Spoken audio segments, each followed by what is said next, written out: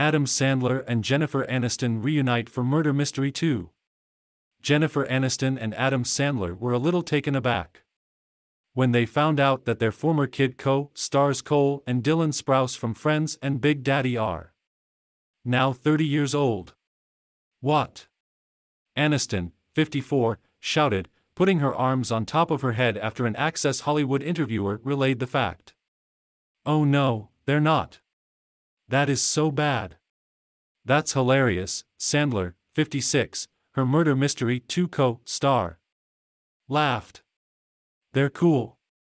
Aniston and Sandler were both around the twins' current age when they worked with them in the late 1990s and early 2000s.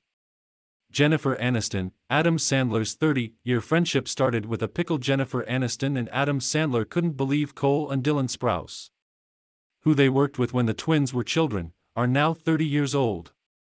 Getty, the twins got their first movie role starring alongside Sandler as a little boy who teaches Sandler's layabout character to grow up and be responsible in 1999's Big Daddy. In the next year, Cole was cast as Ross Geller's David Schwimmer, son from his first marriage on Friends. I knew what those kids were capable of, Sandler said of casting them in Big Daddy. Click here to sign up for the entertainment newsletter. I set the table for the kids to hop on. Friends. That was one thing that Jen said when I first met her just would you please break in the children? And I said, Yeah, yeah, they both laughed. Cole Sprouse said he had the biggest crush on Jennifer Aniston when he was on. Friends. NBCU Photo Bank slash NBC Universal via Getty Images via Getty Images, you did and now look at them, Aniston said. Noting they're both actively working. She also remarked how Cole was so little when he was on the show. After the interviewer brought up his 2021 comments about him having the biggest crush on her. Oh, that makes sense, Sandler replied. Cole made the admission to Drew Barrymore in 2021, saying his feelings for the older actress made it quite difficult to work with her.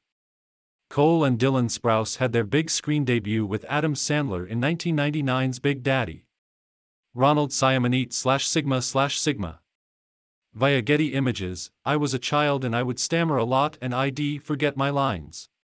He added that the Friends crew teased him a bit about his infatuation. Click here to get the Fox News app. But then the whole world had a crush on Jennifer Aniston, he added. He made a similar revelation on the Today Show in 2019. I'm pretty sure I fell in love with Jennifer Aniston, which the whole world had at that point, he said. But I do remember being quite intimidated around her because of that. I remember blanking on my lines and kind of having stage fright when she sat next to me on the couch. But I do remember feeling like I fell in love. The twins, who currently star on Riverdale and the movie The Duel will be 31 in August.